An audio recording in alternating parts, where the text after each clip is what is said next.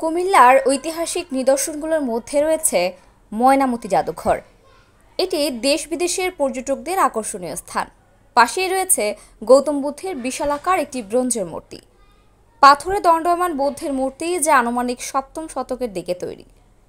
বারো থেকে তেরো শতকের দুটো তাম্র শাসনের পাণ্ডুলিপি স্থাপত্য সমৃদ্ধ ধ্বংসাবশেষ, ভূমি নকশা, প্রাচীন মুদ্রা, পোড়ামাটির ফলক ধাতুলিপি ফলক মৃন্ময় মুদ্রক মুদ্রিকা, ব্রোঞ্জ মূর্তি, পাথরের মূর্তি, কাঠের মূর্তি, লোহার পেরেক, পাথরের গুটিকা, অলঙ্কারের অংশ, ঘরে ব্যবহৃত মাটির হাঁড়ি পাতিল সহ প্রাচীনকালে ব্যবহৃত তৈজসপত্র, জাদুঘরে প্রদর্শনের উল্লেখযোগ্য পাথর ও ব্রোঞ্জ মূর্তিগুলোর মধ্যে বিভিন্ন ধরনের পাথরের দণ্ডায়মান লোকোত্তর বুদ্ধ মূর্তি, ত্রিবিক্রম বিষ্ণু মূর্তি, তারা মূর্তি, মারিচি মূর্তি মঞ্জুরের মূর্তি, পার্বতী মূর্তি, হরগৌরী মূর্তি, নন্দী মূর্তি, মহিষমর্দিনী মূর্তি, মনসা মূর্তি, গণেশ মূর্তি, সূর্য মূর্তি, হেরচক মূর্তি এবং ব্রোঞ্জের বজ্র সত্যমূর্তি অন্যতম।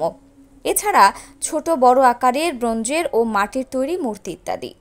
তথ্য ও ভিডিও চিত্রে আবুল কালাম আজাদ।